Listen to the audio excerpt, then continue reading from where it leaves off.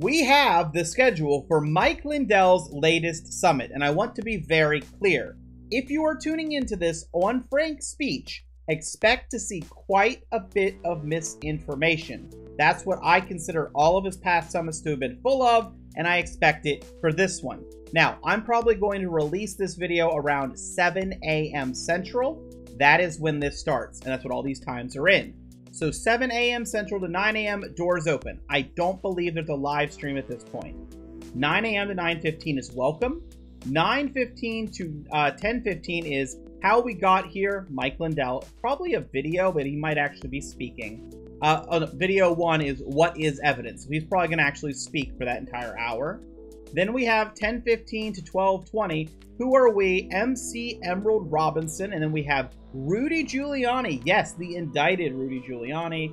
Uh, Patrick Kolbeck, Mike Lindell again, Clint Curtis, Justice Gableman, Tina Peters. You've probably heard that name before if you follow Mike Lindell. Uh, Kevin uh, Cry, Marilyn Todd, Sharona Bishop, Laura Loomer. I didn't expect that name. And Cause of America's Leaders.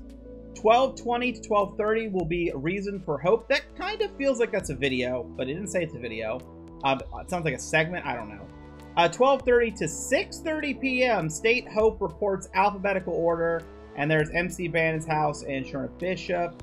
Um, National Perspective, Mike Lindell. You can see General Mike Flynn. I'm not going to go through all the names, but there's Lou Dobbs at 7:30. National News Media Challenge, Lou Dobbs and Mike Lindell, and a day two preview. Day two is the big day. This is going to be a Thursday.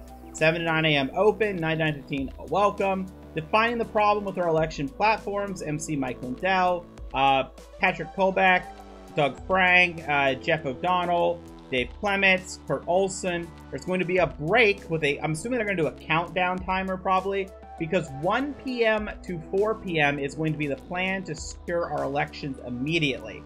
And if this is the leaked plan that has been said by people who are involved with Mike Lindell, this will involve AI and stuff. Um, crazy. Uh, how we convert the plan to action. We have Mike Lindell, and there's a whole bunch of names there, and that's how it ends off. That is the scheduling. So I'm going to be honest, if you want to skip the Wednesday event, you can.